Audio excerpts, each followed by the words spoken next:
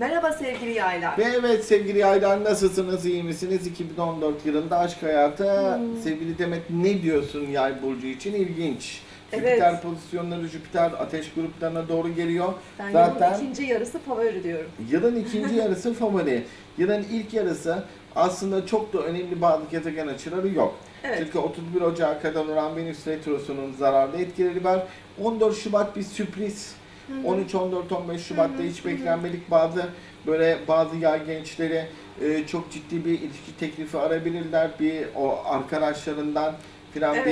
bir e, destek alabilirler veya hiç beklemedikleri bir insandan bir aşk teklifiyle karşılaşabilirler. 15 Nisan tutulması da belki öyle bir sürpriz aşk gündeme getirebilir. 15 Nisan sürpriz Evet. ve aşk getirebiliyor. Veya, Ba- ya da sorunlu bir ilişkide. Bir Sorunlu bir ilişkide Olabilir. mesela bir bitiş Bitiş olur. olabilir. Yedi- Yeni bir tanışma olabiliyor. Hı hı. Arkasından Venüs'ün İkizler Burcu'nda 24 Haziran 19 Temmuz'da bir hareketi var. Evet.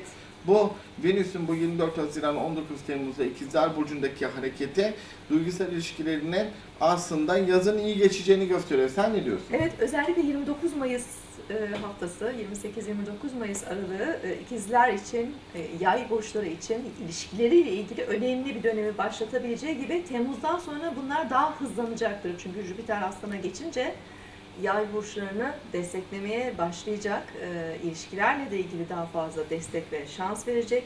Seyahatlerle ilgili tanışmalar olabilir değil mi? Böyle yaz yaz tatilinde, aşkları. seyahatlerde. Venüs'ün pozisyonu zaten Evet. çoğunlukla yaz aşklarını işaret etmiş burada. Yaz aşkları ile ilgili bazı gelişmeler var ama yıl sonunda Aralık ben. Aralık ayı. Aralık Benim ayı. favorim gerçekten bu yıl e, gerçekten Aralık'tır sevgili yay 5 burçları. Aralık, Şimdi- 15 Aralık. Daha ziyade 2014'ün ilk e, genç ilk yarısı daha böyle teenage yerler. Evet, Yani evet. 19'da 25-26 yaş arası teenage tipler için bunlar biraz e, etkili gezegen döngüleri. Ama yılın ikinci yarısından itibaren o ilk Hı hı. işte 28-29 yıllık Hı hı. Satürn döngüsü yaşamış.